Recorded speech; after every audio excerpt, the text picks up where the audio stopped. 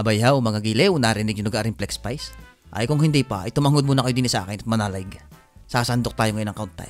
Ipapakita ko lang kung gaano kabisa. Wapak! Ay, parang kabait kung makakapait. Tay. Hop! Ah, taga! Ay, di butas ngayon.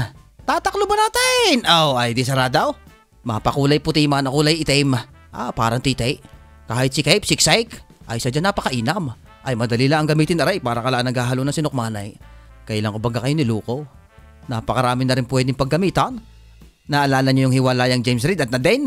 Ay, nakaw. Mas matibay pa aray kaysa sa dalawang iyaw na. Eh, hindi pa ako tapos. Manood lang kayo diyan. Oh. Hing, hing, hing, hing. Hing.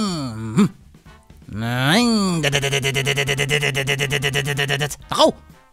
Ala, matalas pala, butas ay. Pero wag kayong mag-alala mga gilew. Gagawa natin yan na paraan. Whooshing! Aw, tigil ang sirit na yaw.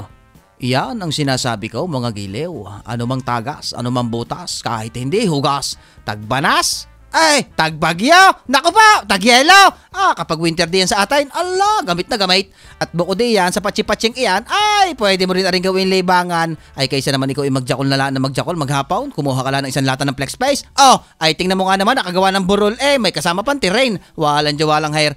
At lentik na daga yan, dingding mo pa ang bubutasan, tagpi eh! Tang inagilew! Ika naman ang daga, ala, nawala ang aking bahay. At sa mga nag-aalangan diya, kung bibili ka o hindi, eh, walang yang, hirap niyo papaniwalain. Ay, ayan, nakalublob na, oh, kapit na kapit pa. Ay, kita niyo naman, oh, walang kabitaw-bitaw. Ay, gaya ng mag-asawang aray, bumili ng jacuzzi, segunda manaw. Ala, ay may tagas pala, ay di tinapalan, iyon, ang susunod lakay, walang hiya. Ay, kamukat-mukat mo ituyo eh. At aray pa, kapag natuyo yung flex space, ah, pwede mong gawin sinilas o kaya panghampas ng bata. Nakaw, ay napaka-igi rin na rin sa baha. Yung iyong bintana, napakababa, lapat sa lupa, sabay lurok ng ulan, ay di tuluan. Oh, ay di kay flex space lang ang katapat niyan. Ay di meron kang aquarium, oh, isda na lang ang kulang. Oh, aray, mga paitlogay, ah, ang sarap tinulahin. Ho, ay may gagawin tayo sa ngalan ng flex space. Ho. Mm. Wasakin na yan at gagawa tayo ng bangka. Ho, olo. Ay, ay kahiya na itaw. Hilamusan na yan ng flex space. Tingnan kung magkakaigay. Ay, at ari na nga, tapaw sang rubber boat. Oh, ay di hito kahan natin kung ari lulubog. Abay how, ah, tatlong oras na ako din paikot-ikot. Ay, sadya naman kuwan ay. Ay, tunay namang walang katagas-tagas at nalutang. Mabuay nga lang, hindi ko mahagout. Aray, ang patunay, walang dudang matibay. Abay how, bili na kayo! Bak, bak, bak, bak, bak, bak, bak! Ay, mga giliw ha, kayo pinaalalahanan ko na. Kayo imagsibili na at sadya naman nagkakaubusan na ng stock.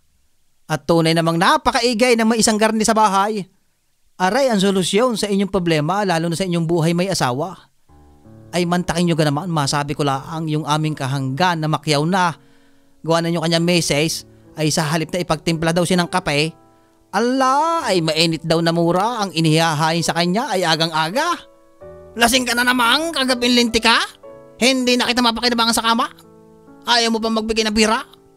Ko, ay di kumuha daw siya ng isang kutsarita. Binuksan ng flex face. Ala, kumuhit ng isa. Sabay sungal-ngal sa misis niyang mahal. Ah, ay tigil naman daw ng kinangangawa ay walang hiya. Ay di mapayapang umaga. Ala, makailang araw, hiwalay na. Tapaw, ang problema? Oh, kaya bili na. Sagak.